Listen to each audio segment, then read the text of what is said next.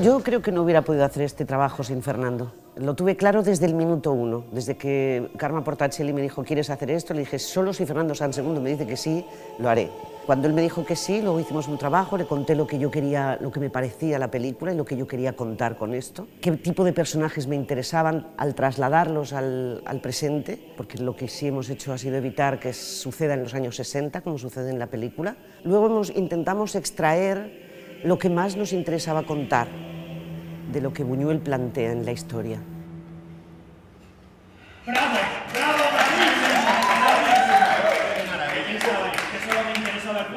Pero mi experiencia con osos es prácticamente nula y muy eficiente respecto a los corderos.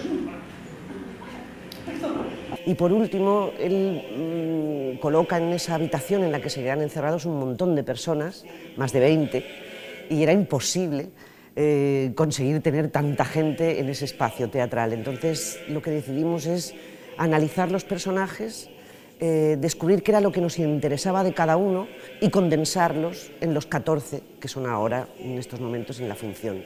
Dirigir en esta sala es una cosa muy especial. Y me he sentido tan cómoda como en mi casa y tan asustada como si estuviese en el Madison Square Garden. Quiero decir, más o menos lo mismo. Entre gente a la que quiero y respeto y que me cuida y un público que, que reconozco y sé que viene a este teatro y por otro lado con un miedo que me muero porque esto es mucha tela, mucha tela.